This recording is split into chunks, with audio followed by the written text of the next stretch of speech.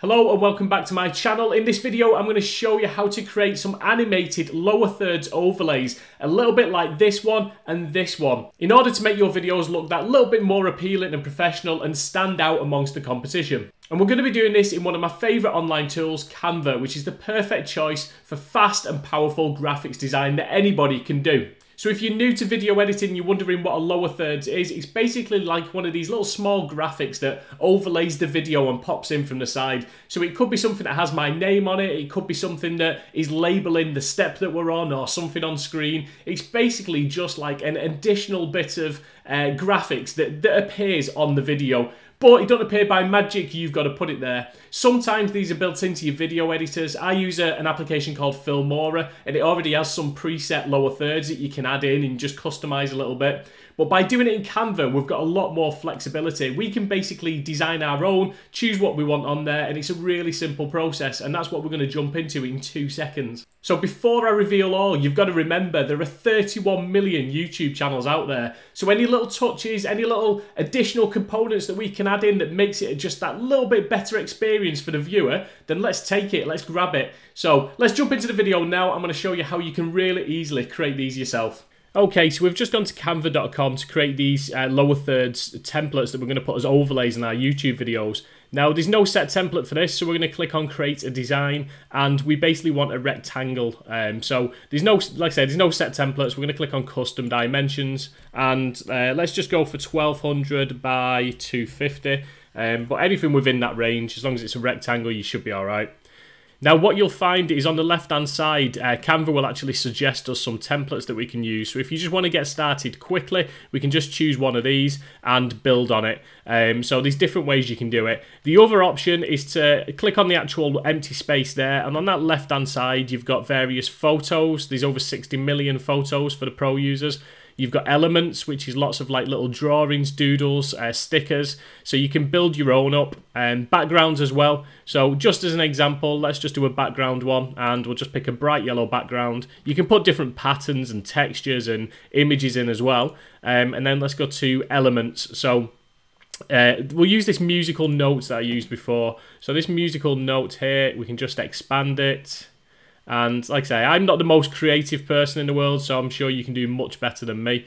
Um, but we can expand that. We can then copy and paste another version and shrink that down. Um, it's whatever your channel's about, really. It's, it's however you want it to look. So let's pop that one at the end. And then we just add some text in as well. So you've got a text button on the left-hand side. So click on that and then add a heading. And then what we'll do, we'll just put some sample text in there. So this bit really depends on what it is that you actually want to show on the screen. So in this case, we're just going to put introduction, but it could be the name of a person, it could be the uh, the section that you're talking about. We'll just keep it very simple. I'll leave you to kind of figure out the semantics of what you're actually offering on yours. Um, at the top here, we can change the font, and there's tons and tons of different fonts in uh, Canva. So let's just change it to this one.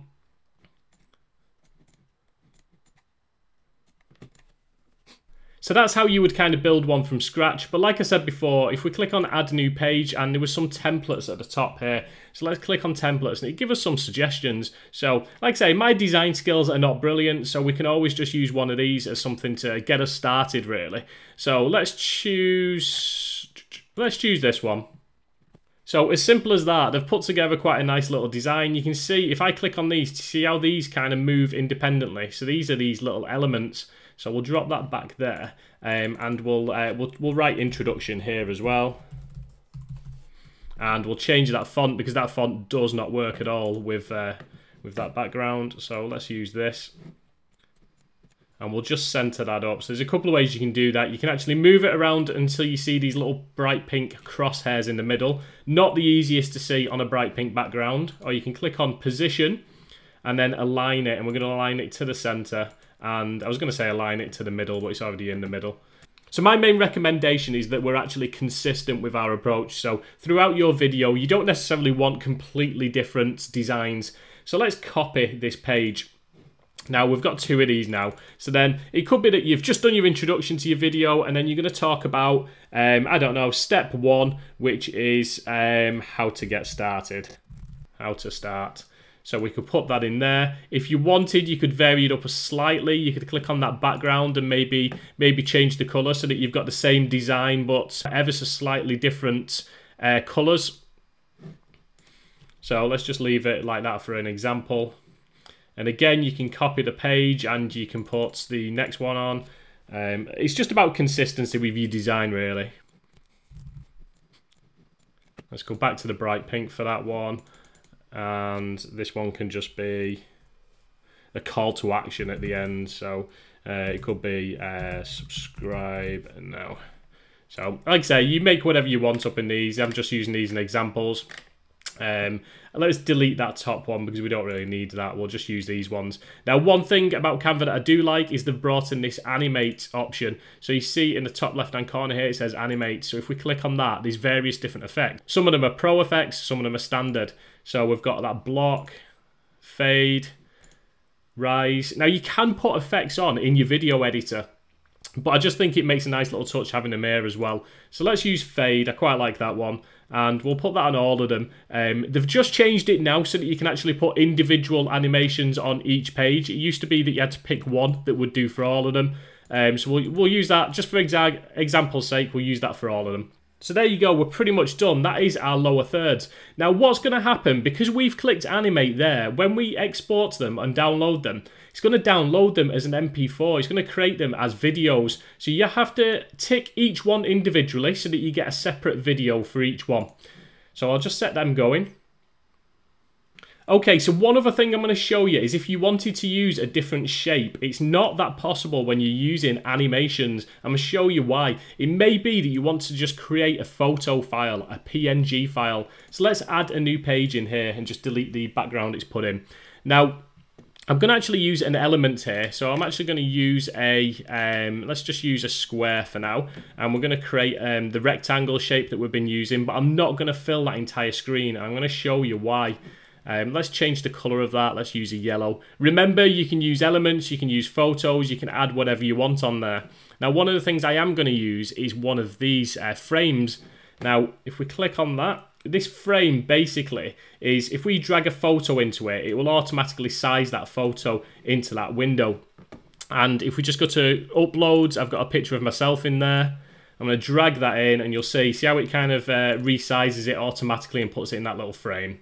So then we'll just move it slightly. So the reason I'm showing you this is basically if you ever wanted to use almost like a custom shape, I'm going to show you the, uh, the, the issues with it. If we make this a video, which is what these are because they're animated, it downloads it as a video, an MP4 file, then the problem we're going to have is this white bit here is going to show you're going to see basically a block of white and it isn't going to look right at all. Whereas if we save it as a photo, we can make that transparent and it'll just add sort of a little extra touch to our uh, overlays, our lower thirds.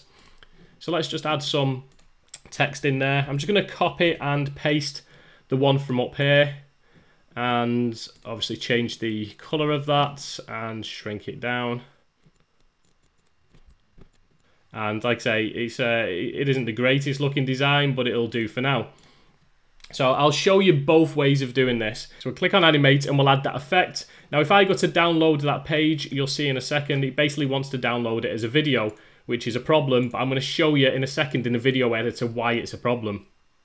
So that's downloaded, but what I'm also going to do is I'm going to turn the animation off, and I'm going to download that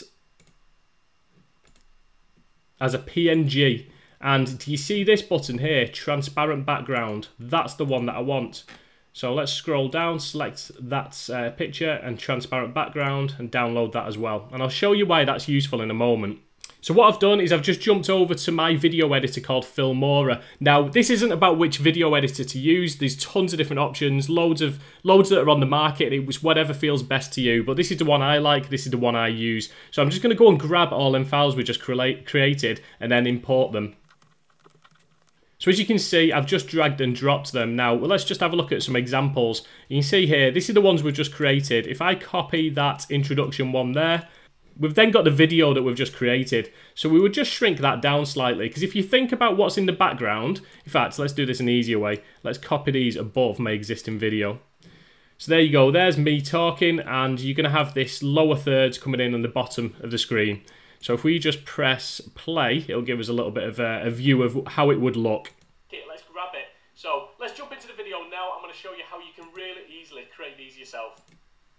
So that's how it would look. It kind of does what we need it to do. You can make that more rectangular if you like. You can stretch it. You can change your dimensions in Canva. Periodically through the video, we basically just add in the relevant lower thirds. Now, this is what I wanted to show you from before. So here is the subscribe video that we added, and this is what I'm, i was trying to tell you. So you can you see how we've got this ugly white box around it.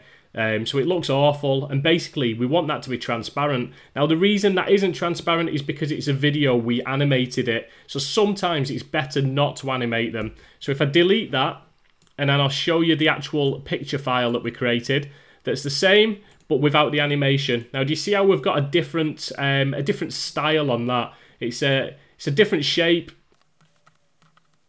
there you go. So do you see how we've got a different style on that now? It's a different shape. It looks slightly different, um, but it is a static file. Now, in Filmora, it's easy enough because if I double click on that file and then click on motion, I've got various different options that I can use here. So one of the ones that I like to use is called to the right. And if we just press play, you'll just see this come in now. Let's jump into the video now. I'm going to show you how you can so it bounces in and it's got its own kind of animation to it as well. So it's up to you. You can use the animations in Canva just to quickly add them effects and import them as videos, or you can create static images if your video editor has some uh, effects that you can add as well. But uh, it depends. If you're just happy with a rectangular shape, then there's absolutely nothing wrong with just using Canva to create these. Um, they can be pretty effective and you're not reliant on all of the ones that the actual video editor produces because it could be that there's only five or ten options you can choose from. Whereas with these ones, you can create them whenever you want. You can change them for every video if you prefer and you can keep working on your various different designs. So there you go, a really simple and effective way of using Canva in order to improve your YouTube videos. Now there are loads more benefits benefits and features of Canva, and that's why I recently took the decision to upgrade to Canva Pro. So if you want to know why I upgraded to Canva Pro and you want 12 reasons why maybe you should upgrade to Canva Pro, watch the next video. Thanks for watching.